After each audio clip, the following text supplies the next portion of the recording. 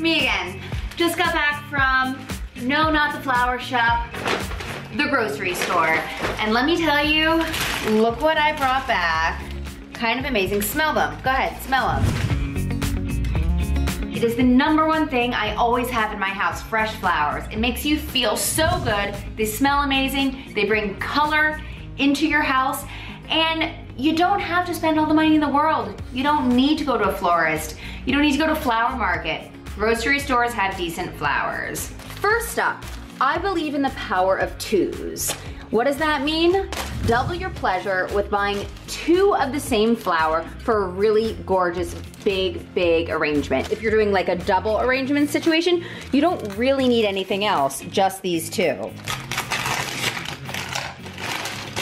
Now, after I slice them open, I normally keep them on top of the plastic here, so it kind of serves as a little covering to my surface. I try to trim them so they're on the same length, but it doesn't matter because you always have to trim the bottom of your stems again. They're normally cut just in a straight line, so when we cut them, we wanna cut them on an angle. And, ah, oh, I love that sound. Um, I would just like you to see this mess here.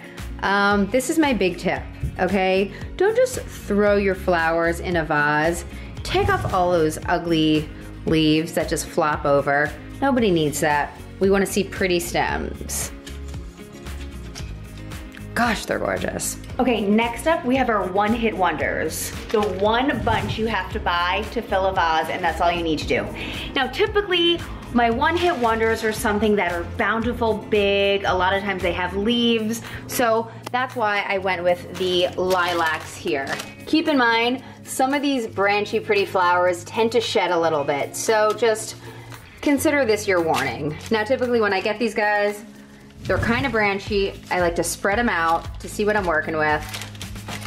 So I can trim the bottoms a little bit and just put them right in the vase. If your stems are branchy like these guys, I kind of think they're ugly. So I like to find a vase that you don't see inside. So I like this white ceramic one.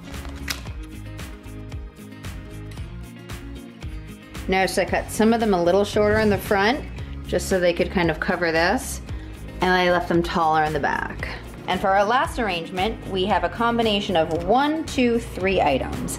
We've got the rose, we've got the hydrangea, and we have the cute little chamomile flowers. We are gonna use just an everyday object like this ball jar here, which is basically like your typical jelly jar, and we're gonna split them up into three different arrangements.